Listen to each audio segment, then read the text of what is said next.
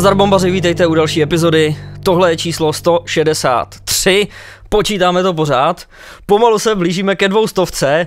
Nechci předbíhat, snad tady do té doby budem. Ale jsme tady ve studiu se Kubem. Zdar. Richard, zdar, rád tě zase vidím. Naše komunikace denodenní v podstatě v poslední době, co? Jo, už vlastně nemusíme říkat zase. Přesně. Vidíme se, vidíme se s Richardem pořád. Já si ty čísla těch epizod vždycky nepamatuju, já se musím koukat na poslední, abych věděl, co to bylo za epizodu. Začíná se mi to motat, ty, to číslo se hezky kumuluje. No, kumuluje. Ke konci sezóny budeme na dvou stovkách, to už bude hezký. Ke konci sezóny budeme hezky nakumulovaný. Přesně, nabombený. Máme tady toho spoustu. Budeme vybombený, podle mě už, ale... Hlavním sponzorem podcastu Bomby k tyči je a kancelář Tipsport a Tipsportu samozřejmě děkujeme za dlouhodobé a pevné partnerství. No jak jsme už zmínili, my pokračujeme dál i přes ty bomby na ledu, které jedou v televizi, naše hokejová show na O2 TV Sport, tak pojedeme tenhle podzim i bomby živě. Ono už se to blíží, my se tady o tom bavíme, bavíme, těšíme se a přitom už je to za dva týdny. 12. října startuje naše tour v Pardubicích. Už týden jsou lístky v oběhu, vlastně už druhý týden jsou lístky v oběhu, takže můžete kupovat, můžete jít na goout.net a tam, když zadáte heslo bomby, tak vám vyjedou všechny termíny, které my máme. My se moc těšíme, snad se tam s váma uvidíme. Je to tak, budeme samozřejmě potom pokračovat, jedeme ještě Liberec, Praha, Plzeň, Budějovice, Ostrava, Brno, na našich sociálních sítích vidíte všechny ty zastávky s, data, s datama. A pokud půjdete na server goout.net, zadáte do vyhledávání bomby, tak vám vědou všechny termíny, tam si lístky můžete koupit. Není to opravdu jako marketingový sdělení nebo tlačení, ale pokud se chcete podívat, tak neváhejte s nákupem lístků, ty pomalu, ale jistě mizí konkrétně v Brně a v Budějovicích, tam už se začínáme blížit 75% prodaných lístků, takže pokud eh, se s náma chcete potkat, na nic eh, nečekejte. Hosty začneme oznamovat během příštího týdne, to je většinou takový okamžik, kdy eh, zmizí ty poslední lístky. Přesně tak. K těm bombám na ledu. Eh, tenhle týden už vychází třetí díl, takže jedeme, je to vlak, který se rozjel, my z něj nevystupujeme, děkujeme vám všem, kteří jste do toho vlaku společně s náma nastoupili. My to vlastně nebereme jako samozřejmost, že ve chvíli, kdy se nám to podařilo dát do televize, tak to pro nás všechno končí. My si uvědomujeme, že je potřeba jet dál, makat dál a hlavně je to velká zodpovědnost držet tenhle prapor na hokejově zábavní scéně. Takže jedeme dál, nepolevujeme, ale baví nás to. Sebevědomý Richard, je dobrý. Tak to má být. Přesně tak. No, já, zase, já za sebe musím říct, že mě ta práce nebo na tom televizním pořadu vlastně jako dává ještě víc energie do uh, tady těch klasických bomb. Protože já si myslím, že kdo jste viděli první dva díly nebo aspoň jeden, tak uh, víte, že ty pořady jsou naprosto rozdílný. To byl vlastně hlavní důvod, jak jsme do toho šli, že se to nesmí překrývat. Ano, občas nějaký témata naťukneme tady i tam, to se asi stane, ale obecně ten formát je úplně jiný, takže uh, to je věc, kterou jsme chtěli a která si myslím, že se nám povedla. Uh, nasadili jsme v úvodu bomb na ledu takový formát, takový vtipy na hranici korektnosti. Jsme takový lehce, no možná ani lehce, někdy těžce rejpaví, Uh, samozřejmě je to někdy, má to ironický, sarkastický nádech, je to hodně s nadsázkou. Uh, já teda musím říct, že já tady ten humor mám fakt rád. A ono to vychází z toho, ano, někdo to může brát, že si děláme z někoho prdel. Ale vy samozřejmě, jestliže sledujete bomby, kolikátý, 163. díl, uh, nemluvím o několika speciálech, které jsme udělali, my možná fakt budeme u té dvoustovky, kdyby jsme to nakonec celý sečetli, co už jsme vydali ven. Možná přes, no. no. Tak uh, Víte, že základ tady toho všeho je to, že my si ze sebe s Richardem dokážeme udělat srandu. Richard, snad, snad Richard do mě šel, že jsem byl dřevěný, uh, Richard do sebe nechá šít prostě první díl uh, televizní, uh, televizní show, že má doma režim Saša Salák a, a že je malinký a takovýhle. Víte, že my si za sebe tu stranu dokážeme udělat. Věříme tomu, že tohle také to budou brát i ty uh, lidi, možná někdy kluby, nějaký organizace, ze kterých si budeme dělat srandu v bombách na ledu. Takže uh, zajímavé je, že uh, dva vtipy už jsme konzultovali s danýma lidma, o kterých ten vtip je, a vždycky nám řekli, jo, je to vtipný, běžte s tím ven, já nejsem na to citlivý. Snad to takhle bude i pokračovat. Přesně tak, snad to takhle bude pokračovat. No a ještě teda se vrátíme k tomu, samozřejmě záznam každého dílu Bomb na ledu bude vždycky na našem kanále na Hero Hero. Jednáme o tom, že bychom tam měli neskrácenou, nesestřihanou verzi, to je v řešení, nedokážeme teďka říct, jestli to dokážeme. nedokážeme říct, jestli to dokážeme. Takže to je v řešení. Každopádně vám můžeme garantovat, že vždycky na Hero Hero bude eh, záznam televizního pořadu Bomby na ledu, jak je k vidění na O2 TV Sport. Přesně tak. Jdeme na hokej. Protože první coach, který uh, letos odstoupil, uh, respektive který uh, předčasně, předčasně skončil. skončil ve své funkci, tak byl Patrik Martinec v Kometě. Vlastně stačily tři zápasy, dá se říct. S Hradcem, s Varama a s Litvínovem ale hovoří se i o tom, že už je to nějaký doběh té uplynulé sezóny, kde Martinec ztratil část kabiny, což je eh, v Brně důležitý. A v sobotu dopoledne tohle oznámil jak hráčům, tak i vedení, že končí na vlastní žádost. Proč to taky říkám? Protože Kuba tohle říkal v epizodě číslo 159. Boom. Boom, Jakube, taky nějaká chvála. Občas se to povede. Aby si tady měl, občas se to povede, teď se to povedlo. No, v neděli byl na střídačce Jarda Modrý, Samozřejmě Kometa eh, zase prohrála 3-6 z Boleslaví, tak ono to není samo sebou, neznamená to, že když vyměníš trenéra, tak hned začneš vyhrávat. Spekulace eh, na internetu a na Twitteru se objevily i takový, že eh, Libor Zábranský by snad chtěl jako novýho trenéra Kariho Jalonena, bývalého trenéra nároďáku, ale tyhle spekulace už jsou prej úplně out, protože zdroje blízký Jalonenovi všechno tohle popřeli, protože Jalonen se teď soustředí na převzetí eh, finského nároďáku. A zkrátka mu nedává smysl se nějak s kometou spojovat. Takže je otázka, jak tohle všechno dopadne, co se bude dít. Asi se teď do komety nikdo zrovna dvakrát nepohrne za téhle situace. Já vlastně nevím, já si myslím, že většina trenérů, no to je otázka, no. To samozřejmě trenéra určitě najdou v kometě, to, uh, to je jasný. Uh, dokážu si představit, že někdo z trenérů, který neříkám, že si můžou vybírat z nabídek, ale který třeba ví, že jsou takový ty první na řadě, když někde jinde se trenér odvolá, tak uh, si to angažmá v kometě uh, důkladně promyslí a zváží, jestli opravdu je to situace, do které chce vkročit. Jirka Vítek na Twitteru uh, prezentoval hodně zajímavou informaci. Poslední trenér, který v Brně odkoučoval celou sezonu, byl Vladimír Kýhos v sezóně 2013-2014, nebo 14-15. Teďka se kráne, 14-15, pardon, 14-15. Byl jsem tam, takže to vím. S chodou okolností Vladimír Kýhos po té sezóně odcházel po tom, co jsme uhráli třetí místo. Tenkrát uvolňoval místo pro Aloise Hadamčika a od té doby Hadamčik, Fiala, Kalous, Pešout a teď Martinec, ani jeden nedokázal přežít celou sezónu na lavice komety. To je samozřejmě zarážející statistika a ve finále to začíná ukazovat, že je asi jedno, kdo na té lavičce stojí. Že tam ten pro- problém bude někde hloubš.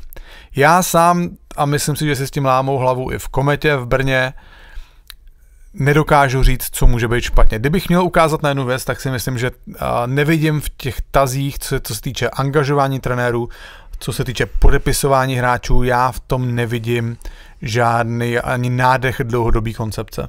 Hmm. Um, my jsme to minule říkali tady, že mě se úplně nelíbily ty letní posily, které Kometa přivedla a uh, myslím si, že se to i ukazuje na těch, uh, na těch výsledcích na začátku sezóny. Pořád jsou tu jenom čtyři zápasy, Jo, pořád uh, samozřejmě nemyslím si, že Brno je odepsaný, to bylo by to hodně předčasný, na druhou stranu, eh, já to teď několikrát říkám, že ta eh, psychika je ve výsledku to nejdůležitější, co ten hráč, potažmo celý mužstvo má. A blbý je to, že Kometa je teď na začátku sezony, má čtyři zápasy, neuhrála ani bod. Není to ani tak, že by v nějakém tom zápase byla blízko tomu bodu, kdyby prostě prohrála golem v poslední minutě nebo vedla ne- nešťastně prostě o to vedení přišla. To se vůbec neděje. Tady opravdu jakoby sledujeme uh, poměrně jasný zápasy, kde Kometa prohrává. Blbý je, že v té kometě se teď nemají vůbec čeho chytit. Tam prostě nefunguje vůbec nic, tam není ani jako jeden hráč, který mu by se dařilo, na kterého by se podívalo, tak hele, tak na, skočíme mu na záda, on nám pomůže dva zápasy a rozjedeme se s ním. Nic takového tam není. To, o to je ta situace složitější a důležité je, aby kometa se z toho dostala co nejdřív, protože ono se to nezdá, ale v tom tříbodovém systému, když mužstvo ztrácí 10 bodů, tak si řekneš, no tak to je, to vyhrajeme čtyři zápasy z pěti a jsme tam. No v první řadě ty ty čtyři zápasy z pěti musíš vyhrát, to je první věc. A další věc je ta, že taky někdo ty zápasy musí prohrát. A oni je všichni prohrávat nebudou. Jo, a čím díl Kometa nebude sbírat body, tím ta díra bude těžší na to se z ní vyhrabat. Jo, já to mám z vlastní, z vlastní jako paměti, kdy uh, můj, moje poslední sezona v Plzni, kdy my jsme pr- za první čtvrtinu vyhráli snad dva zápasy a měli jsme totální jako propast na zbytek extraligy a v podstatě od listopadu, když se dělala tabulka od listopadu, tak jsme byli druhý nejlepší v lize. Nám se tu sezonu podařilo otočit a i přesto, že jsme to takhle otočili, tak jsme se do předkola dostali snad výhrou v posledním nebo předposledním kole. Honil se opravdu každý bod do poslední chvíle. A co vám pomohlo tenkrát? Tam se to nějak prostě otočilo, já asi nevím, tam si, myslím si, že se stoupil Martin Straka na střídačku a začal prostě režim, no. Hmm začal režim, ale jako tam bylo, tam bylo v tu chvíli o co se opřít, no, byl Dominik Kubalík prostě. Um, tak, tak víš, co mi teď evokuje, kdy je režim na střídačce komety? No, chápu. Ono jako tady z toho pohledu by to mohlo zafungovat, no.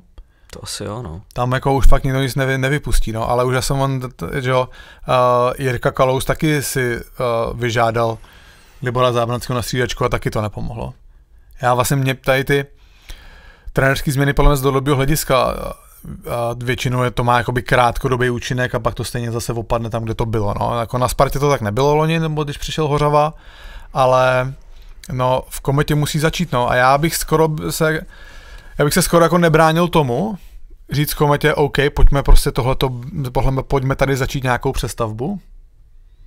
Pojďme se smířit s tím, že letos uh, půjdeme do předkola, když vypadneme, tak se nic nestane, ale prostě zatřeníme tady ty dva mladý hráče, zbavíme se tady těch dvou starších, uh, zkusíme vyměnit někoho za někoho.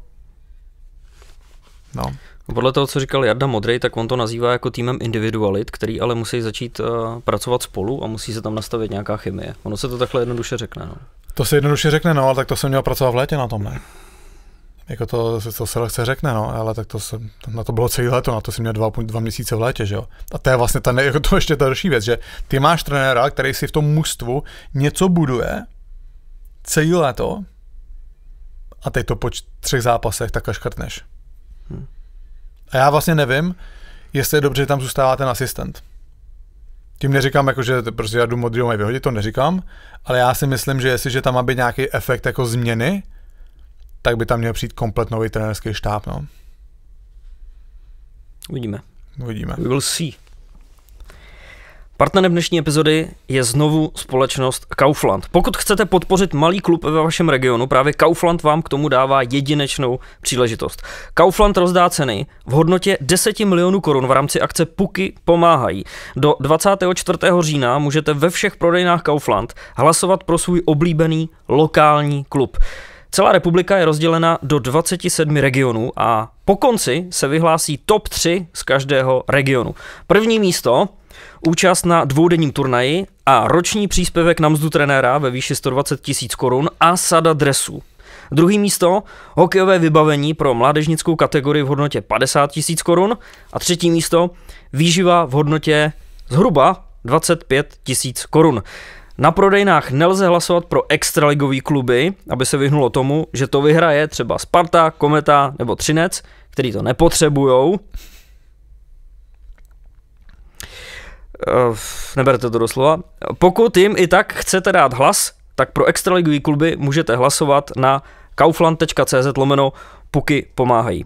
Já jsem byl hlasovat minulý týden, byli jsme v Kolíně v Kauflandu a já jsem si to vlastně uvědomil, až na kase, kdy jsem dostal ten žetonek, ten puk, A Aja říkala, no tak si můžeš jít odhlasovat, ne? Já jsem na to úplně zapomněl a v tu chvíli jsem si říkal, no teď jasně, teď mi to tady přece jeden v podcastu, tak jsem si tam hodil žetonek, hezky jsem to natočil. Co ty, Jakube, taky jsi hlasoval? Musím ti říct, že jsi mě inspiroval tím, jak jsi to dal na Instagram, takže já jsem taky, byl jsem v Kauflandu, hodil jsem to tam třemošnej, komu jinému samozřejmě, mimochodem v sobotu začínáme sezónu v Domažlicích, jdu na to. Jdeš jdu, na to? Jdu na to. Teda. Takže žádný last dance nebyl. Jsem hodně zrezlej teda. Nevím, jak to udechám, ale jdu na to, jdu na to. Teď mi volal akorát eh, Venca Polívka, eh, z, co tam to řídí v Třemošnej, jestli nemám někoho v Brně, aby mi potvrdili hostování. Třeba mě nepustí. Třeba řekl, on jde hrát, tak ho vente sem. A řekl, vy jste se zbláznili. Musíte vyřešit papíry. Vy jste se zbláznili, nemám čas. Každopádně celá tady ta akce Kauflandu je podle mě skvělá cesta, jak podpořit uh, hokej v menších klubech, takže určitě běžte do Kauflandu, stejně si někde musíte koupit rohlíky, tak díky tomu můžete aspoň podpořit nějaký malý kluby. Musím, že koupit banány a pak tam sázet ty banány. Přesně. Na ledě. Přesně. No pizzu. Yes. Tak jo. Olomouc Karlovy Vary, pojďme se zaměřit na některé zápasy, které byly zajímavé a co nás na nich zaujalo. Je rozhodující moment, který vlastně ved eh, k rozhodujícímu gólu, díky kterému Olomouc porazila Karlovy Vary, kolik to bylo, 4-3? Byl gól, který padnul 2 minuty 20 před koncem a když to řeknu natvrdo, tak za ní asi z velké míry mohl Dominik Frodl, který se nechal vyloučit ve chvíli, kdy už byl vyloučený uh, Ondra Beránek, to znamená Frodl v konečném důsledku poslal Vary do tří. A tohle z toho oslabení už nezvládli, dostali gol, který se ve výsledku ukázal jako vítězný, ale Dominik Frodl, který se přesouval ke své pravý tyčce, tak vlastně a, bránu vyrazil hmm. ze svého postavení ten kolík. Frodlik hodně tak jako o tom diskutoval s rozočím, který ho stejně vyloučil, dvě minuty, dvě minuty za zdržování hry. S Frodlikem jsem se o tom bavil, i vlastně komentátor, který pro Utučko tenhle zápas komentoval, tak říkal, že by spíš stál na straně Frodlíka. Dominik popisoval, že v té konverzaci s Rozočím byl argument ten, že on už měl napomenutí ze druhé třetiny. A že v tuhle chvíli musí být na základě tohohle prostě vyloučený. Ale ta brána, taky jsem se o tom bavil s Vegim. By prostě, Tyhle, je goman. By prostě měla držet a měla by tohle zvládnout, takže v tomhle byl Frodlík nevinně. No já jsem se ptal dvou bývalých brankařů, oba dva naprosto bez rozmyslu mi řekli, že ten golman za tohle nemůže. Jo, za mě, já vím, že to zase pro rozhodčí je složitý, ale uh, za mě to je prostě špatně vyhodnocená situace a špatně a ve výsledku ovlivněný zápas, protože to bylo, to bylo do tří fal, přesně tak, eh, nebo fal vyloučení do tří, do tří, za stavu 3-3. Tam zase, jo, já si prostě myslím, a on to samozřejmě nikdo nepřizná, jo. Ale velkou roli v tom, že ten Dominik byl vyloučený do těch tří, tak určitě hrálo to, že Karlovy Vary se do toho zápasu zpátky, oni ho vlastně otočili, taky když měli přesovku 5 na 3. Jo, oni podle mě dokonce v té přesovce dali dva góly 5 na 3. Jo, protože tam bylo ještě, tam bylo, tam bylo ještě signalizovaná výhoda, si myslím. Jo. Takže myslím si, že potom to nastavení těch rozhodčích je takový, že tak trochu jako hledají tam ten moment, kdyby mohli to, tu přesovku 5 na 3 vrátit tomu druhému mužstvu. Jo. Samozřejmě, uh, jako... Neměl bys nad tím tak přemýšlet, no. Neměl bys, ale podle mě tomu se ne, ty rozhodčí prostě neubrání. To by musel být fakt strašně silný rozhodčí, aby, aby to tam nehledal, no. A ano, jestliže tam bylo nějaké varování, jak ti říkal Frodlík, tak to tomu ještě vlastně napovídá víc hmm. a to, to tomu rozhodčímu trochu ulehčilo. Já to, ale vlastně jako já neříkám, já neříkám, že ten rozhodčí chtěl poškodit Karlovy Vary, to v žádném případě. Ale cítím tam takový to, že si chce pokryt ty záda, tyjo, ve třetí třetině jsme dali přeslovku 5 na 3 varům, a tyjo, tak jí dáme i Olomouci vlastně a nikdo nebude moc říct ani slovo. Tíha okolností navíc v Olomouci. No, navíc Olomouci, jo, no, jako bejt varský hráč, konkrétně Frolík, tak bych mě, ta, mě tahle prohra strašně štvala, no. A zase jako, my máme začátek sezóny, že se to podle mě, ano, bavíme se o tom, ale tolik se to neřeší. Hmm. Ale ty body, se, ty body teďka mají stejnou hodnotu, jako budou mít prostě ve 48. kole. První prohravaru v sezóně. No, první prohravaru v sezóně. A ty body potom prostě můžou chybět, no. A podle mě ty body by neměly prostě přicházet pochybný, nebo ty, o ty body nechceš přicházet po chybných rozhodnutích rozhodčích. Ať znovu já si uvědomu, že to je těžký, ale prosím pojďme rozhodčí podívat se na to, je to začátek sezóny, chyby se stanou, my to víme, rozhodčí jsou jenom lidi, ale prostě opravdu účel všeho by měl být ten, že, uh, že rozhodčí nebudou dělat chyby, které ovlivní zbytek zápasu. Bom. Třinec Vítkovice. Ano. Ocelářský derby, to je vždycky zajímavý. O, ve chvíli, kdy Třinec ved 3-1, relativně jako rychle se do toho zápasu dostal, ale bylo to až prakticky jako do samotného závěru. Ještě půl minuty před koncem Třinec ved 3-1 a kde kdo už by si řekl, že to je rozhodnutý. Jeden z těch momentů, který tam nastal a pomohl vlastně Vítkovicím ke srovnání, tak bylo vyloučení Adama Poláška, který tak jako utemoval puk u mantinelu. Bruslí nejevil jako známky, že by chtěl hrát, dostal dvě minuty za zdržování hry. Hodně přísný. Hodně přísný. Hodně přísný. A myslím si, že správný, ale hodně přísný. Správný, ale ať se to takhle píská pořád teda v tom případě. Hodně přísný myslíš? Nemluví ty pravidla takhle jasně? Ano, mluví, ano, mluví, ale chci vidět, kolik takových vyloučení bude během sezóny. OK. No, uh, tak, poslední půl minutka hry. Uh, nejdřív Persi snižuje z přesilovky a Dominik Lakatoš sekundu před koncem srovnává. Je pravda, že už předtím teda Vítkovice riskovali bez brankáře a tohle vyloučení Poláška jim k tomu ještě pomohlo, protože v tu chvíli uh, máš před sebou situaci 6 proti 3. Um, Třinec teda nakonec stejně vyhrál v prodloužení. Nebylo to 6 proti 3, podle mě. Nebylo to 6, to 6 proti 4. Taky, taky, taky přem... Byla přesilovka, nebylo to přesilovka, přesilovka 5 na 4.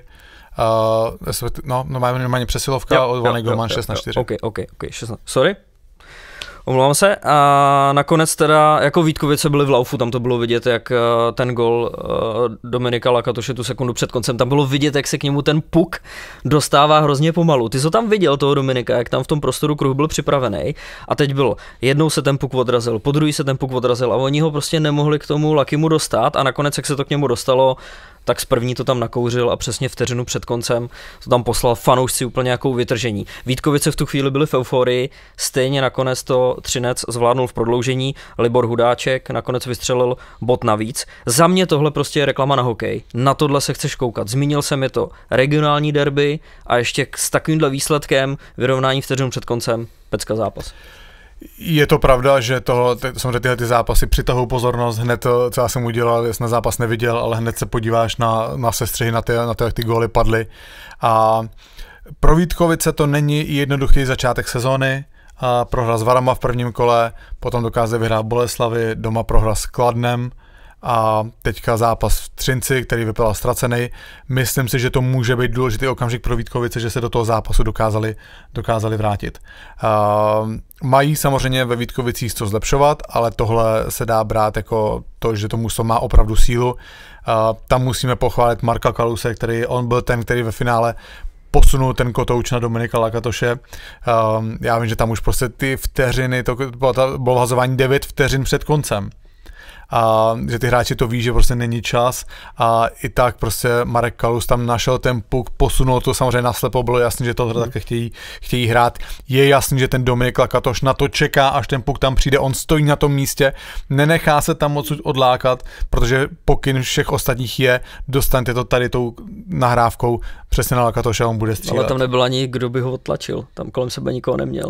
No tak protože to je jasný, protože oni byli, oni, oni, byli, oni byli ve čtyřech, že jo, tam byl, tam chápu Třinecký, že zhustí ten prostor na tom puku, pár sekund do konce, chtěli ho tam nějak prostě udržet v tom chumulu, aby to nevypadlo Vítkovický. Samozřejmě trochu se štěstím se s tím dokázali poradit, ale krásná střela Dominika Lakotaše a krásný závěr tady toho regionálního ocelářského derby.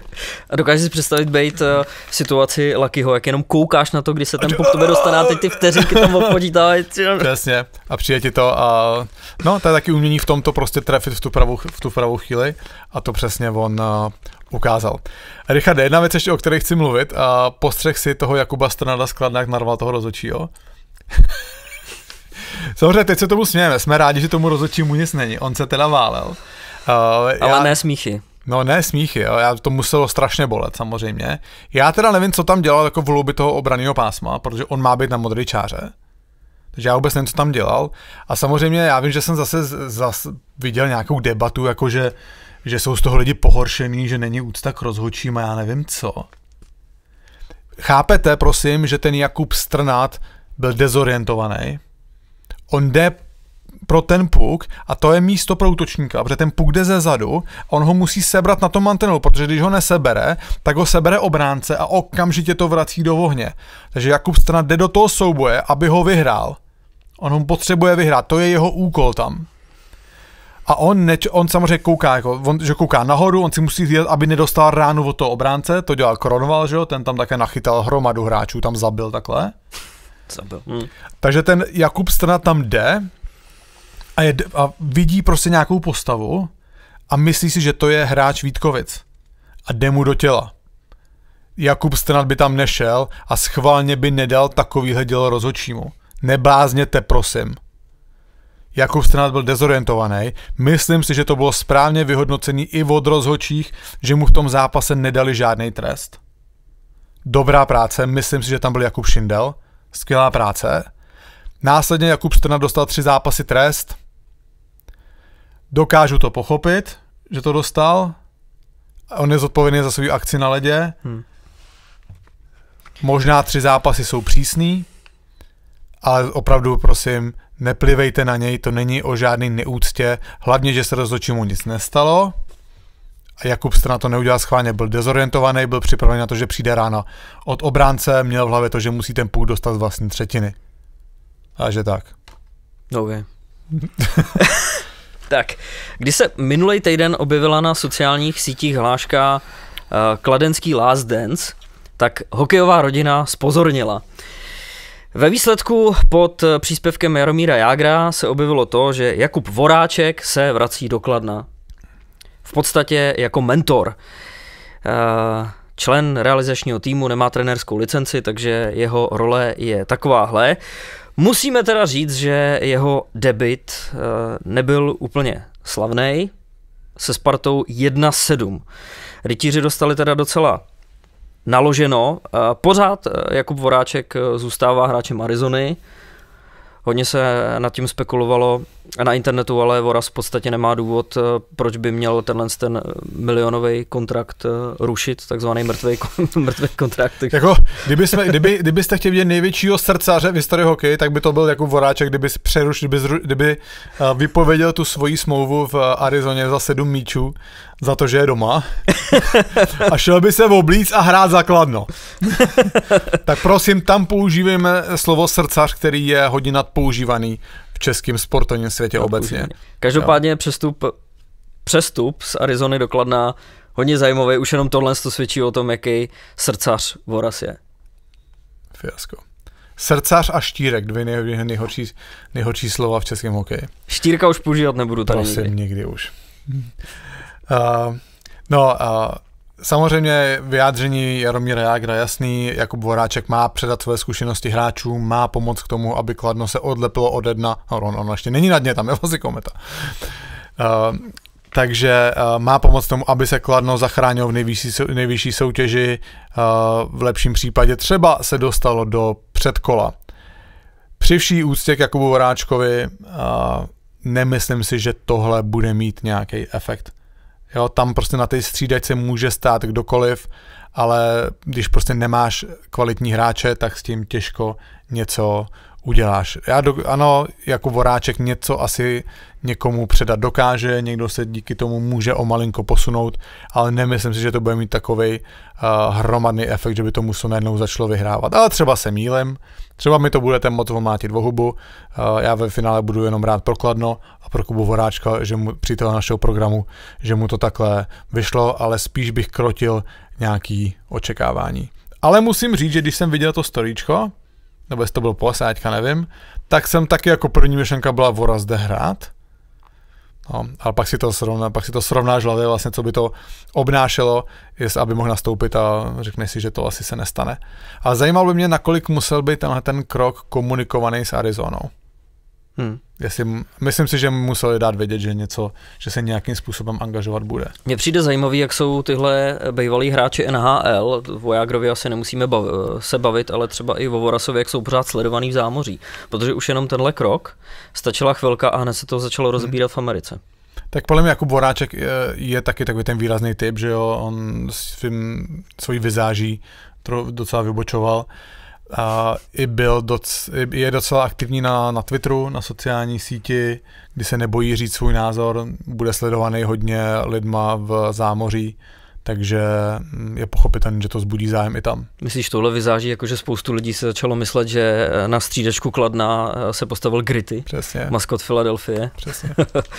tak zatím dominantní v extralize je Sparta a taky Pardubice. Sparta ještě o trošku víc než, než Pardubice, protože eh, Pražani ještě ani jednou neprohráli. A to mají za sebou ještě dva ultimátní zápasy, kde bylo k vidění úplně všechno. Ty vyhráli na samostatný nájezdy proti Třinci a proti Pardubicím. V oba dva tyhle ty nájezdy rozhodoval Pavel Kousal. A Pardubice ty jsou teda hned v závěsu za Spartou. Ty vlastně prohráli jenom s tou Spartou, jinak mají tři výhry, takže tohle jsou dva týmy, kterým to zatím lepí. No ten jejich vzájemný zápas minulý týden a... Super podívaná. Dobře, zachránil jsi mě před reklama na hokej, děkuju. To, to, to už jsem řekl před chvilkou. no, uh, asi jsme viděli, že se utkali dvě výborní mužstva. Samozřejmě za umělecký dojem, když to řekl nazvu, by si zasloužili vyhrát Pardubice. Pardubice v tom zápase byly lepší, hodně výrazně Spartu přestříleli a opravdu zasloužili si vítězství. Na druhou stranu zase musíme, musíme uznat pozitivní body Spartě za to, že se do toho zápasu, který nehrála podle vlastních představ, dokázala vrátit a nakonec ho v nájezdech i zlomit na svoji stranu. Takže věříme, že to byl jeden z prvních eh, zajímavých střetů eh, těchto asi největších favoritů, favoritů Extraligy. Já si tajně přeju playoffovou sérii mezi, no ne tajně, já si ji přeju. Uh, myslím si, že... Teď už veřejně. Uh, myslím si, že i všichni ostatní opravdu by se potkali, Pardubice se Spartou, uh, Pardubice, sklonil se ten název Hockey, Hockey Town, Hockey Town, tak uh, máme nějaký náš interní forek, který tady nebudeme říkat. říkat nahlas. Uh, takže Pardubice jsou opravdu hokejové město. Uh, ta horečka, která tam se vzbudila nebo tam splála ve chvíli, kdy uh, Petr Dědek začal mohutně investovat do mužstva, tak uh, je samozřejmě skvělá, je to dobrá publicita pro celou extraligu uh, a kdyby se tohle mužstvo, tohle město v podstatě utkalo přímo v sedmizápasové sérii s pražskou Spartou, vyprodaná Enteria Arena, vyprodaná O2 Arena, všechny, všechny zápasy měly náboj. Věřím tomu, že v letošním playoff tahle série přijde. Kdo se mi ještě líbí, a dostaneme se k Krtýnovu za chvilku, a líbí se mi ještě jak hraje Hradec. Mhm. Navázání, navázání na loňskou sezónu, a ty, ten styl hokeje je podobný.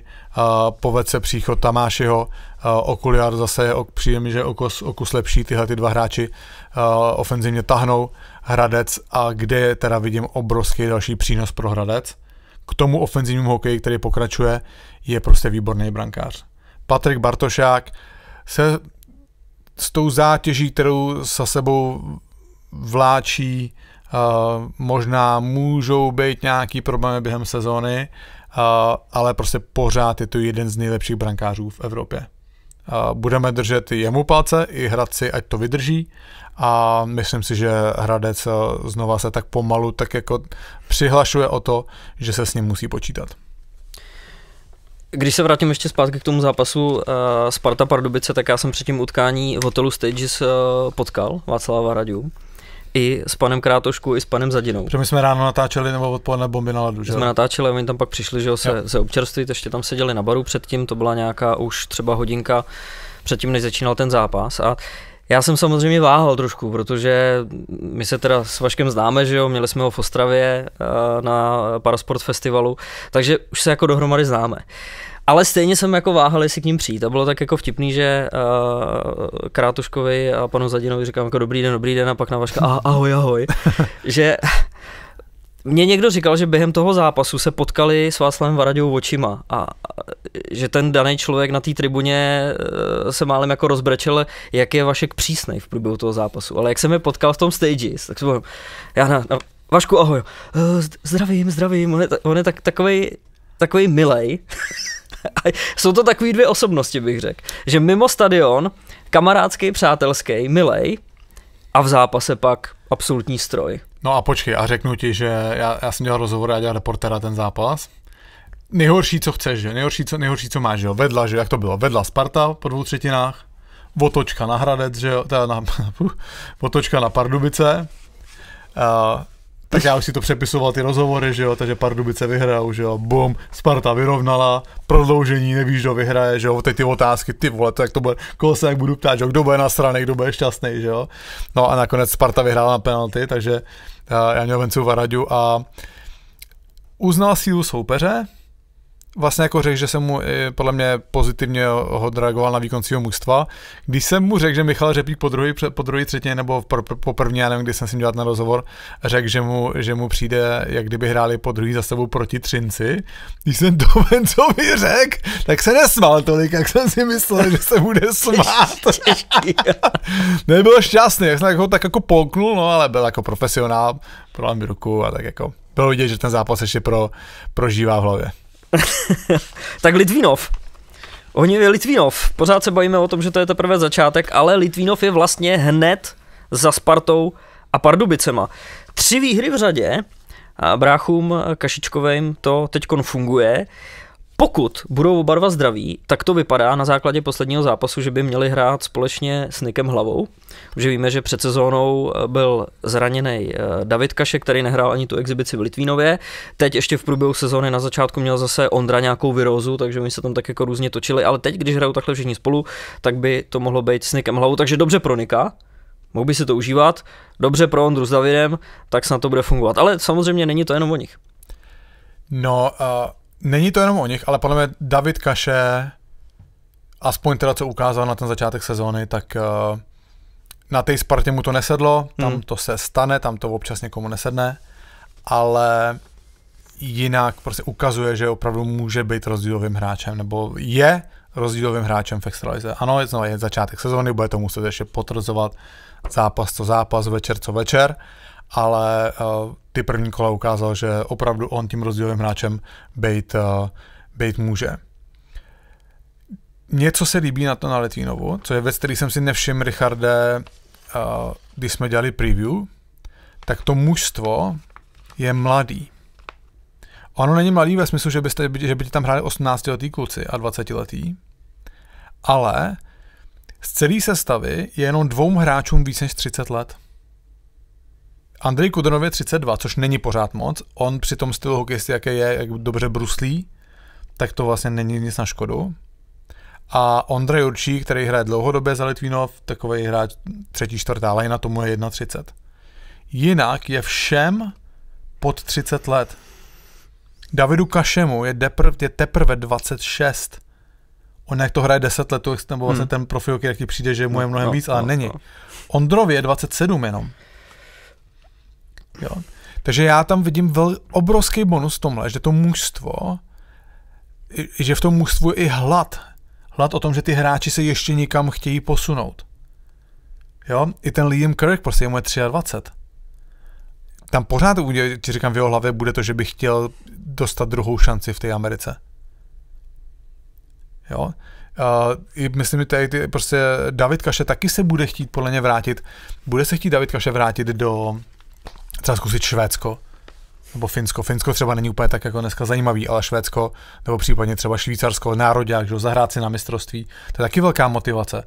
Myslím, že David Kaše by měl být, tak, měl být jako v tom širším seznamu. No David Kaše má smlouvu na jak dlouho? Na dva? To nevím, to nevím. Něco, ale, ale to Ondra nevím. podepisoval na rok. No, jo, a, co, a jako co, co si může říkat, podle mě Ondra Kaše ve chvíli, kdyby to tady prostě rozpálil během té sezóny, tak proč by mu mě zase někdo to neskusil v Americe? No jasně, že jo. Teď to vlastně tak nějak jako naznačovali jo? i v rozhovoru pro nás. No. no. Jo, takže že v, mně se líbí, že v tom mužstvu je prostě jako ještě pořád motivace na to, že ty hráči se chtějí posouvat a chtějí, vlastně potřebují ten úspěch toho mužstva.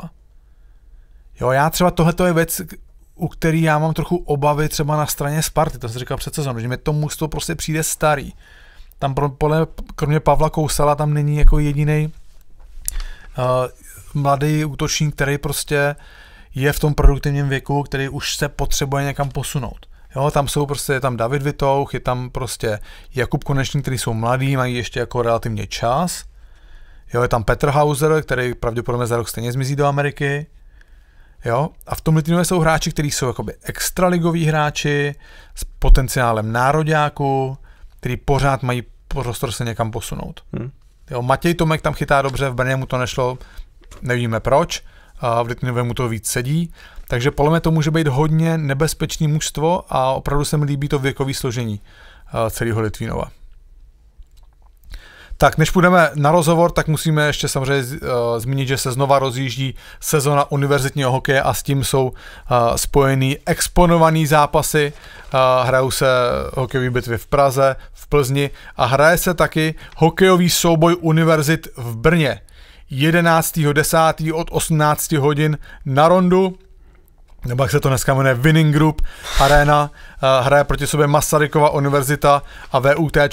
Loni bylo vyprodáno, letos bude tenhle zápas útočit na nejhlasitější utkání v dějinách českého sportu. Rekord drží Havířov se 113 decibelama, Brně se tenhle rekord pokusí letos překonat. Pokud byste chtěli na tenhle zápas jít se podívat, myslím, že to bude hezký zážitek. Uh, myslím si, prezentace znova univerzitního hokeje na sociálních sítích je naprosto skvělá. Koukněte na hsubrno.cz, tam si můžete lístky koupit. Pokud nezvládnete být na místě, tak, tak tenhle zápas bude vysílat ČT Sport. Takže určitě koukejte, sledujte univerzitní hokej, skvělý, zábavný produkt. Tak uvidíme, jaký tým bude ve výsledku Winning Group. Asi. Tak jo, dneska jsme si pro vás připravili rozhovor s Petrem Koukalem, uh, obrovský zkušeňák, taky ho máme zažitýho vlastně s, jako s obrovskýma úspěchama. Uh, mistr světa z roku 2010, pořád poslední český zlato, uh, trojnásobný mistr extraligy s Pardubicema. Má to hodně za sebou i spoustu kontroverzních momentů. Potom, jak se vracel zase zpátky uh, do Česka, tak místo Pardubici zvolil Hradec. Hodně se to opakovalo i ve vašich dotazech. Skoro bych zapomněl i na to, že on byl vlastně jedním z expertů na mistrovství světa pro českou televizi, takže byl v Rize, má tam spoustu zážitků. Dostaneme se dokonce i k elektrický koloběžce. takže Petr Koukal, který v tuhle chvíli hraje v Kolíně a možná třeba už není tolika lidem na očích, protože máš tendenci furt jenom rozebírat spíš tu extraligu, tak jsme tady vyslyšeli i vaše volání po šancelize, takže to s Petrem můžeme všechno rozebrat. No, já si Petra nepamatuju, ale Petr mě provázal celou moji kariéru, protože on je o dva roky starší.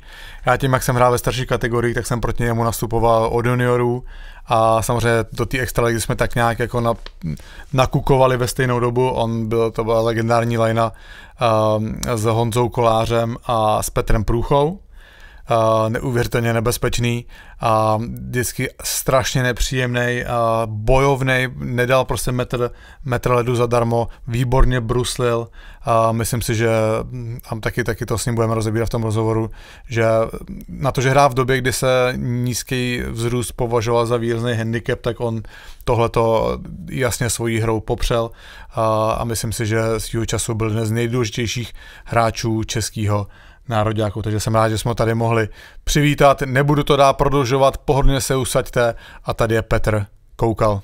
Náš dnešní host hokejově začínal ve Žďáru nad Sázavou. Velké jméno si ale udělal v Pardubicích, se kterými třikrát slavil mistrovský titul. V roce 2010 získal s národním týmem zatím poslední zlatou medaili na světovém šampionátu v Německu. Dnes kapitán prvoligového Kolína Petr Koukal. Petře, vítej v podcastu Bombiktiči. Dobrý den. Dobrý den, Richardu, můžeš tykat. Já jsem to řekl vám dom, ale teďka budu to na mě, jemu. Na mě se řval na ledě, ty vole.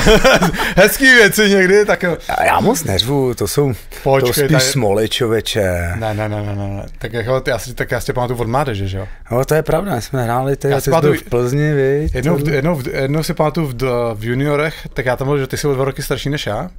A ty tak uh, dali jste gola nějak a lehce si jsme vysmál toho, pamatuju. Ty já to nevím, člověče, to a už pak si, pamat, A pak si pamatuju, podle mě, když jsem se zjevil na Spartě a hráli jsme možná s váma přípravný zápas s Pardubicema. a ty jsi si mě podle mě nezařadil v první chvíli. A možná nezařadil a říkáš mi, tak tebe vyhrabali kde? Jo, člověče, tak to nevím. Já, jako v tom, já se, já jako málo, má, má, já jako řvu, když je hokej na střídačce, si to tak komentuju pro sebe tam a jako dámhle mu to dej a blbě, ale na ledě jako by, tak tohle je asi výjimka, já se jako moc ne, nejsem takový ten hráč, jak jsem říkal, že se z mě spletl ze Smolem, což nejde teda zase, to jsem rychlejší, to máš pravdu. Ale to, jako já to, tady tohle z toho nevyhledávám moc, takže se ti omlouvám. Když no, to se nemusíš omlouvat, to bylo zápalu hry. Petře, jak si tě teď máme představit jako mentora v Kolíně? Ty, já tě dám mentora, ty, to bude Já vím, že ty to nemáš rád, viď, ale oni tě takhle označují. Já to vím, nebo já Ty se nevím. nechceš označovat jako lídr, protože to říkáš, že tam jsou Ne, lídr, lídr nemám problém. To lídr si, jo, lídr si. Ne, to ne, to, to bejvávalo si, ale, ale to s tím nemám, jako to, to je braný takový, jako že bys měl ten tým táhnout nějakýma výkonama na ledě a tohle z toho ale jako mentor výchova mladých a tohle to jako nemám nějak rád, jako jo. Mě jaký jako nikdo nevychovával, že by jako za mnou, si představím, že by za mnou jel Ota jako Janecký nebo v kabině za mnou přišel a jel by si teď do posilovny? Jo, nebo já nevím, ještě na ledě, ještě zastříle, zabrusli si ještě trošku navíc, se mě v životě nestalo, ani Láďa Lubina, jako nikdo z těchto z těch kluků prostě, jo, to mám, to říkám, buď, buď chceš jako ty si dělat něco navíc, nebo jako trenér, když ti něco řekne, asistent, kondiční, no kondiční tehdy nebývali, ale, ale jako tak OK, ale jako představa, že já jako hráč přijdu jako za klukama teďkom v Kolíně, nebo loni, předloni v Hradci a Měli byste jít do posilovny, kluci, jako jo, to, ať jste lepší, mě přijde úplně uhozená. Jako. A co teda řešíte v kabině? Co řeším? Čem se tam bavíme? Nebo kdo, kdo jim teda dá tyhle pokyny? Jasně to by měl dělat trenér nebo kondičák. No jasně.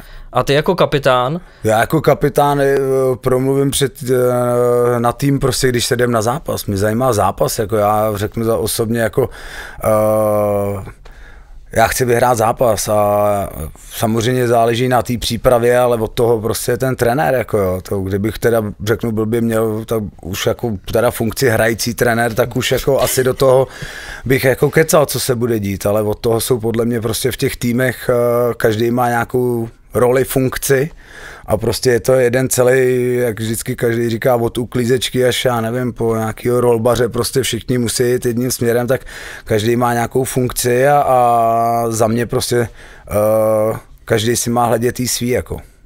A, Počkej, a co, co Ota Janecký teda, co, jak na tebe působil Ota Janecký v šatně? To je úplně v klidu, vyrovnaný výbor. Zase druhá věc, jo. Uh, já jsem tam přišel s Količem, s Pruchyčem a my jsme hráli dobře, hráli jsme furt nahoře, my jsme hráli ve čtvrtý leně, motali jsme se tam jak klacek pod jezem, lítali jsme, nikdo to v té době neznal prostě asi, všichni z toho bylo zaskočení, protože předtím se hrálo jenom na tři liny. My, pak se to prostě nám vlastně jakoby, nebo já jsem se do toho hokeje dostal, že vlastně přešel hokej na čtyři liny, protože jako představa, že bych někoho vyndal z těch tří line, jako že bych připravil o místo, si nějak nedovedu momentálně jako představit, když to vezmu zpětně. Jo. Takže jako my jsme začali ve čtvrtý leně, měli jsme tak tři střídání, aby jsme byli u nich ve třetině, jako u soupeře. Jakmile jsme se jednou dostali k nám, tak už jsme seděli. Jako, jo. Takže Pruchyč ten šlehal blesky, jako, jo, to jsem viděl ty jeho oči, jak, jako, když jsme měli jít na řadu a, Miloš Říha řekl první. Říkám, to je tak byli u nás, no góla jsme nedostali, jako, jo, ale tak promiň, tyjo, nebo co, jako. Myslím, že mě to neštve, že nehrajem nebo něco, takže uh, žádná krize nebyla, hrálo se nahoře, takže byla pohoda, prostě jako vzpomínám na ně jako na super člověka, prostě hokejistu výborného, ale jak říkám, eh, lidi se třeba víc odhalej v tom, když se nedaří, jako jo. Ale to jsem bohužel jako, nebo bohu dík. Si nezažil s ním, s ním ne vlastně, no. My jsme dvakrát vyhráli základní finále, vyhráli jsme základní čas a tam jsme vyučili v playoff uh, eh, 4-3 z Plzní. A tak jako v tom playoff se nějak jako, víš se, je to 2-0 se vedlo, 2-2, 3-2, 3-3 a prohraješ na jednu čtvrtý, uh, sedmý zápas doma. To je ten Adamský ten gol, ten... Ne, ne, ne, to bylo 2-8, tohle byl, tam hrál uh, Pepa Straka ještě, člověče, Vostrák už tam určitě byl, Ty, a Stráča tam nebyl, tam byl Dušan Andrašovský hrál za Plzeň a tyhle ty. Oni šli, to bylo klasicky 1-8, my jsme vyhráli asi o 30 bodů základní část a... A, Máli, a nechytal Málič tam? Jo, chytal podle mě. On tam přišel na konci, oni sotva proklouzli podle no, mě. oni šli s osmýho, no. No tak to je tady tam, ne? To není, to Ne, není ono. To je, ne. po- to je potom nějaký, to už bylo s Martinem Strakou, ten Adamský, ten gol Jo. Martin Straka už tam byl, jo. To byla ta série, jak jste se rvali v té Plzni? Jo, jak, jo, jo. Časy, jak tam trefil Stráčů v šestém zápase a tam se Mati, Mates mlátil s Setkovským. A tohle to. Ale tohle bylo dva, tři, dva, čtyři, člověče. Jo, okay. A pak vlastně jakoby pět, eh, čtyři, pět už tam podle mě Ota nebyl. To byl ten lockout a tohle to. Takže A tyhle on- dva roky jsem On se motá v Pardubicích kolem hokeje, nebo ne? Ale teď tam vůbec není podle mě. Ne? A žije v Pardubicích? Jo, jo. Jo? Okay. No, To by Petře, byl dobrý host pro nás, promiň, promiň. To by... Určitě. Teď tady mám taky dobrý hosta. Jo, děkuji. Protože ty si v letě říkal, že bys chtěl hrát ještě tu jednu sezónu. Máme tuhle sezónu teda u tebe brát jako poslední? Eh, v profesionálu v první lize nebo v hokeji, který má 52 kol, určitě. Jakože bych to zavěsil, asi ne, jestli nějaký kraj, jako rozhodně určitě ne druhou ligu ještě níž, někde si jít v sobotu zahrát něco možná, ale To bys chtěl třeba kraj, to by tě lákalo? klidně se zahrát. Tak jako když budu zdravý, tak jak se cítím teď, tak jako klidně bych si ho šel zahrát, ale rozhodně 52 kol už nikdy. Já tě obdivu, že i teď vlastně to bude 1,40? Jo. Že i teď do toho máš chuť tu sezonu v té první lize, kdy ten komfort pro hráče není takový, na jaký si určitě zvyklý ze své kariéry, takže se ti do toho chce. Hele, tak když přijedu do Sokolova a mám se rozcvičovat před tím zápasem, tak si říkám, co tam dělám. Jako jo. Horší Sokolov než Havířov? To je tam, no téhle za Havířov si pamatuju málo, tam jsem jako byl možná v juniorech a v extralize jsem ho moc asi nechytnul, člověče ani. Ale to si říkám, jako co tam dělám. Ale pak jako nějak se trošku hybneš, když na to rozbruslení, ale tak zatím mě to baví s eh, rodinou, s manželkou jsme to řešili, už loni jsem říkal, že si dám jednu, jednu sezónu, ale vlastně uh, po sezóně jsem se s manželkou o tom bavil uh, a uh, nic se nezměnilo, dcera jde, šla akorát do 8 a ta mladší jde na poslední rok teď do školky, takže jsme se domluvili, že vlastně jako všechno jde tak, jako, jak bylo loni, takže jestli mě to baví ještě a chci si zahrát, tak, eh, takže s tím manželka nemá problém a já, já jsem se vlastně dohodl na pokračování, samozřejmě vždycky to je, že tě ještě někdo musí chtít, tak jsem se dohodl a, a, a ale tohle už je asi fakt, ne asi, tohle je fakt naposledy, kdy budu hrát 52 kol. A jaký je plán potom? Nemám plán, ptá Ne? se mě hodně lidí, ale plán nemám. Chceš, by- a přání, chceš být tu hokeje?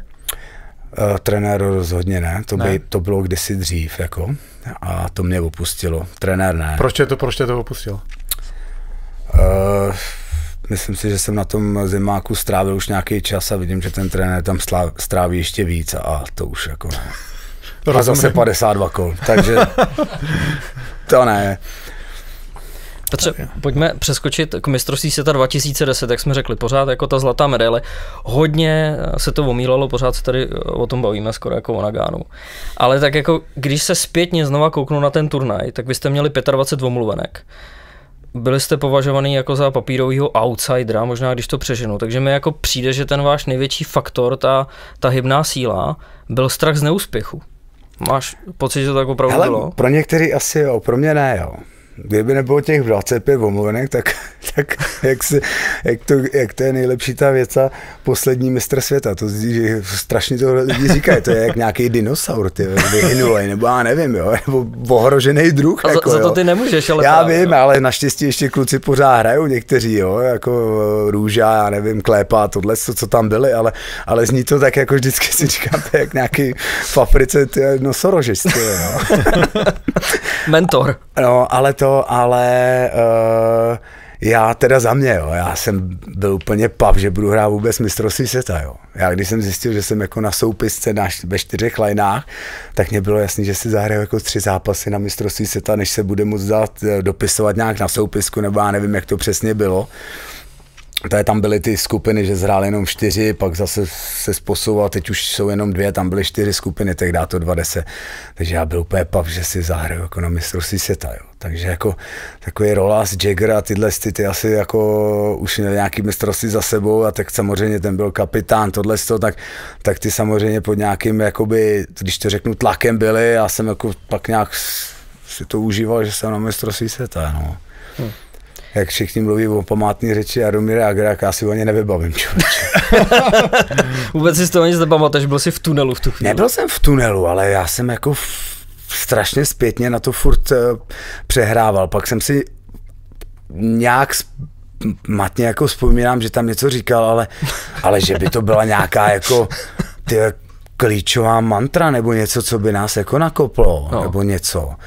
Mě asi jako mě v hlavě neutkvěl. Jo. Já si myslím, že uh, my jsme se tam dokázali, uh, že ten hokej umíme hrát hodně dobře proti Švédům v základní skupině, kde to byl asi nejlepší hokej, který já jsem asi v nároďáku v životě hrál. Jako sice ten zápas skončil, já nevím, 2-1 nebo 3-1 pro nás. Hmm. Pak jsme teda druhý den prohráli se Švýcarama nebo s Norama, nebo já nevím, po těch, no. jo, tak nějak to bylo ale tam jsme jako přejeli, takže já si spíš myslím, že samozřejmě uh, nikdo nechtěl být ten první, který nepostoupí v historii jako uh, do playoff, že neudělá playoff, tak to jsem samozřejmě pak člověk čte ty noviny nebo na tom internetu, tak jako nechce jako samozřejmě z té úvodní euforie, že budu hrát mistrovství světa, tak jako taky si zpětně jako nechceš být ten, který jako si se zahraje to mistrovství světa, ale... To byl ten faktor strachu, že A nepostoupí, takže jako ve směs eh, tohle to bylo asi to hlavní, si myslím, než nějaký jako uh, no.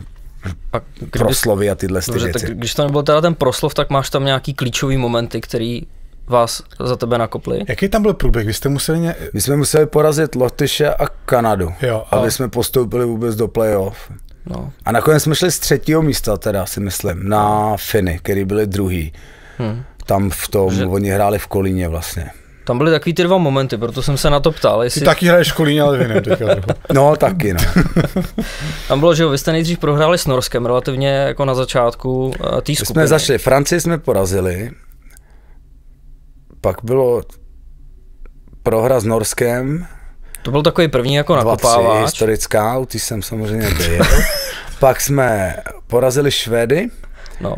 Pak jsme pak dostali od Švýcarů. A tam už jste věděli v tu chvíli, kdy jste prohráli se Švýcarama, že, že musíte vyhrát s Lotyšema a, a udělat bod s Kanadou. No, no, vyhrát dokonce podle mě. I. Vyhrát. No, vyhrát to je, oni tam dali na 2-1 nebo na 3-2, jak tam se střelili o kio za bránu a, a všichni jo, se klepali, jo, protože to najednou bylo o gol a myslím si, že jenom výhra na 100% pak možná nějaký zápas ještě kdyby dopad, pro nás, tak nám možná stačil boss tou Kanadou, ale jako aby jsme byli jasně postupující do playoff, tak jsme museli udělat i tu Kanadu. Ale já říkám, jakoby ten tým, za mě ten tým věděl, že nějakou sílu má prostě po těch Švédech, který ten hokej, ten zápas byl podle mě fakt úplně výborný. Akorát prostě klasický Češi, tam to klaplo, tak Pohodex. jsme po, povolili a dostali jsme od Švýcaru, jo. Který už v té době začínali být, ne teďkom, teď už by to nebylo tak braný, jako že tě, že tě Švýcar přejel Bobem 1-3, nebo kolik to bylo, jo. Přijel Bobem? No, no jasně, Ants ty, ty máš... dry a přejede tě Bobem, ne? Chápu, ne? ty máš dneska asociace Boba, protože dneska se odhalný nový maskot mistrovství světa. No, hrozně nový. a nový tričko. datum se změnil. A tričko, podle mě měli bílý a teď budou mít modrý, nebo něco takového. Mají modrý trika, nebo něco, to jsem četl, že je nějaká změna, že mají modrý trika. No, ale to, takže jako spíš tady tohle a samozřejmě jako došel do finále dvakrát na nájezdy a porazil s Rusy, který podle mě v životě nemůžeš porazit, jo. Takže samozřejmě pak už to šlo v takový nějaký euforii, jako jo, po, hmm. vyšlo, vyšlo to, uh, že porazil ty Lotyše, měl tu Kanadu a já to ani nějak tam jako moc nestudoval s klukama, nebo já osobně ani kdo hrál za tu Kanadu moc, jo. Hmm. Takže jako nějak jsme se tam spíš soustředili na sebe, protože samozřejmě výborní hráči tam měli, ale ale neměl to nějaký Dream Team z Prahy, jako jo, že bych tam úplně čuměl, já nevím, Crosby a tady tyhle sty, jako mě, vím, že tam byl Perry, ten tam se střelil toho to, Vokio a tohle, no. ale, ale jako dál si nějak moc nevybavím, že by tam byl úplně jako McDavidové, jako z téhle doby, jako jo. A To byly ovečky nové a tak, no. no, to spíš to Rusko tehdy tam bylo, no. Ale tak jako nějak to Já si, já, dopadlo dobře. já si pamatuju, že tenkrát tak Cory Perry zboural uh, Vokyho za bránou, já jsem byl u televize strašně naštvaný a tenkrát jsem cítil takovou hroznou křivdu, jsem si říkal, ať už to skončí ten zápas. No a to tam běhal po letě fanoušek ještě, víš, a před kanadskou střídačkou ani stál. nepamatuju. No, on není vidět, ale komentátor to říká, když to tam sleduješ. A ty jsi ho viděl? Jo, teď on nomé běhnul před kanadskou střídačkou, začal tam nomé gesta a tohle. A dlouho tam a tam, no tam při, vlezl Karel na chunku a nomé ho odvez, vlapnul za ruku a odvez, ty kdyby vlezli na ho zabijou, a oni se naštěstí mlátili v rohu jako, tak se spíš koukalo do rohu a, a na něj podle mě koukali úplně uvějení, co dělá frér na ledě. Jako. Já nevím ani, jak se tam dostal, jako, teda, abych ti řekl pravdu. To je taky, my jsme koukali tam a najednou jako borec v českém drezu je normálně na ledě a před kanadskou střídačkou a jako Přes Manťák, já přes, nevím kudy, jako, když to řeknu, já máš akorát vchod v prostředku a ty mantinely všude, nevím, jako, jak se tam teleportoval. Víš to rolby, ne? Tam vběhnu si otevřel dvířka někde je, nějaký. no už byl konec, tak teoreticky možná jo, jestli nějaký to vlajku, ten nejlepší hráč, tak jestli tam někde otvírali to na u rolby, to se nejsem jistý, ale jinak No, to, no. Ale a Petře, a pak 2018, teda ty si hrál olympiádu, ale na mistrovství se to už si nestartoval. ne, ne, ne. Ty jsi jako neve, nevešel se do kádru, nebo co se stalo? Nevešel, no. Tam vlastně, jakoby to řeknu blbě, tam to trénoval vlastně Pepa Jandáč a on to nějak jako řekl, že, ta, že ten olympijský turnaj je o dost kratší jako řek, než, eh, než uh, mistrovství světa Takže tam to a udecháš chtěl ještě, to no. jakoby postavit na nějakých zkušenějších hráčích. Uh, mně se povedlo, myslím si dobře, jakoby uh, turnaj v Moskvě, reprezentační a na základě toho jsem se tam jakoby dostalo vlastně moc překvapení a nějakých mladších kluků tam nebylo vlastně, tehdy se podle mě řešil i Martin Nečas ještě byl v kometě podle mě.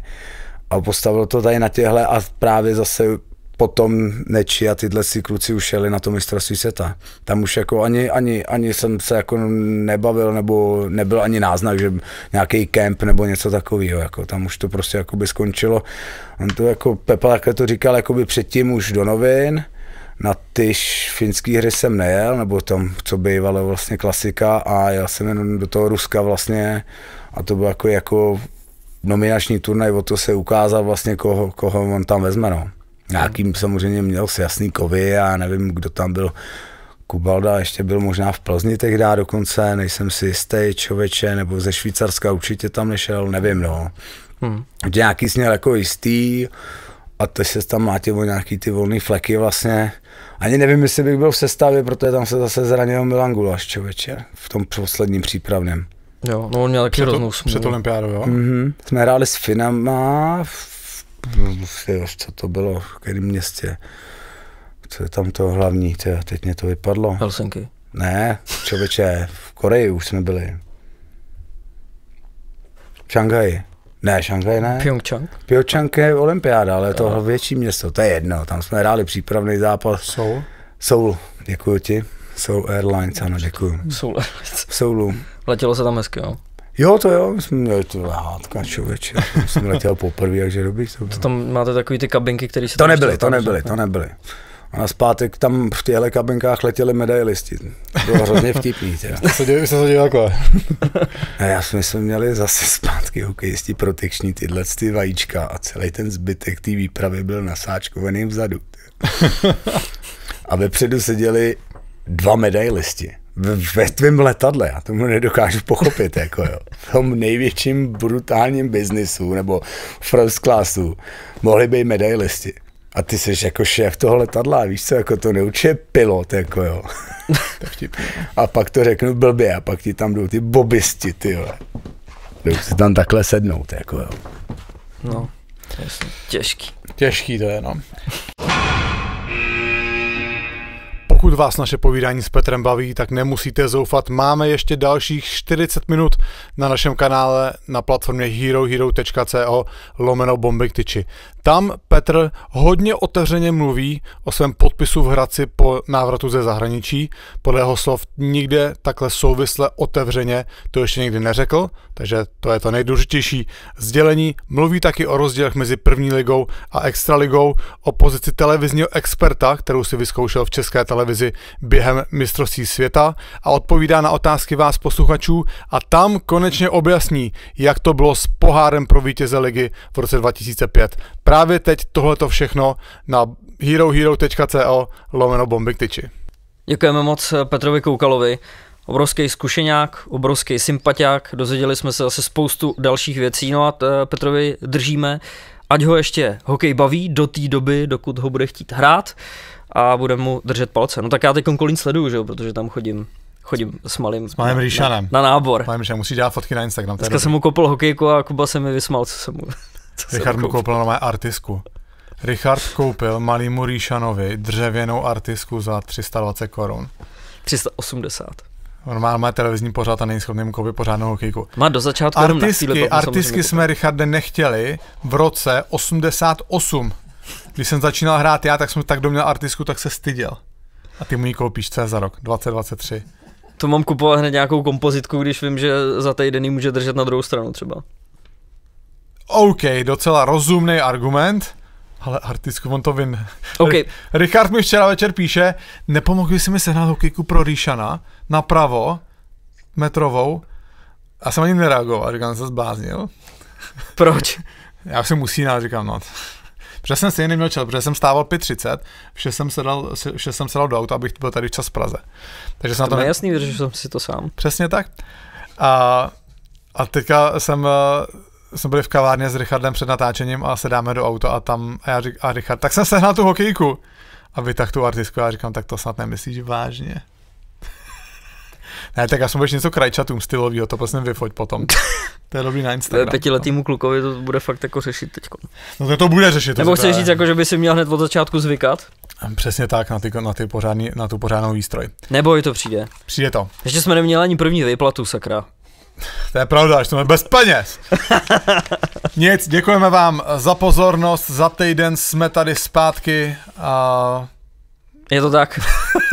za týden jsme tady zpátky a pojedeme zase bomby k tyči. Přesně, pojedeme bomby k tyči. Děkujeme, za, děkujeme, mějte se hezky.